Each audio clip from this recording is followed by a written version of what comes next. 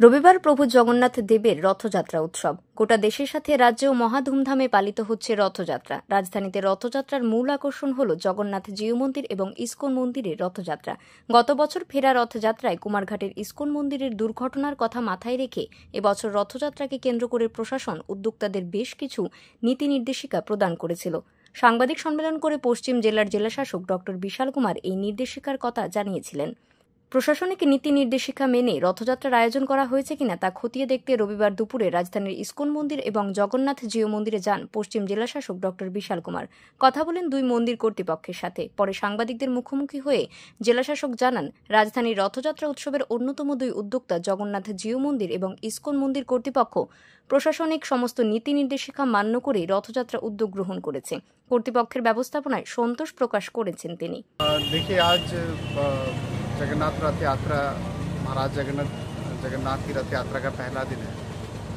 और कई जगहों पे ये यात्रा की जा रही है। आज हम लोगों ने जो सबसे बड़ी दो यात्रा हैं, इस्कॉन की और जगन्नाथ बाड़ी की, उसका इंस्पेक्शन किया। खासकर रथ का और रूट मैप का और ऑर्गेनाइज़र से बात करी है। जो भी ज़रूरतमंद इंस्ट्रक्शन उनको इशू किए गए थे, उन्होंने ये सब फॉलो किए हैं। और जो भी अरेंजमेंट और जो भी रूट मैप उनको दिए गए थे, उसका वो पालन करेंगे अभी आने आने वाले प्रोग्राम में भी। और हम लोग संतुष्ट हैं इससे और हम उम्मीद करते हैं कि बहुत ही शांतिपूर्ण और उल्लासपूर्वक ये जगन्नाथ रथ यात्रा आज, अगरतला और त्रिपुरा में मनाई जाएगी। প্রসঙ্গত উল্লেখ্য, গত বছর উল্টো রথের দিনে কুমারঘাটের ইস্কন মন্দিরে লোহার ইস্পাত নির্মিত সুউচ্চ রথের চূড়া উচ্চ ক্ষমতা সম্পন্ন বিদ্যুৎ পরিবাহী তারের সংস্পর্শে এসে অগ্নিকাণ্ডে ভস্মীভূত হয়। এই ঘটনায় ঘটনাস্থলেই সাতজন এবং পরে আরও চারজনের মৃত্যু হয়েছিল।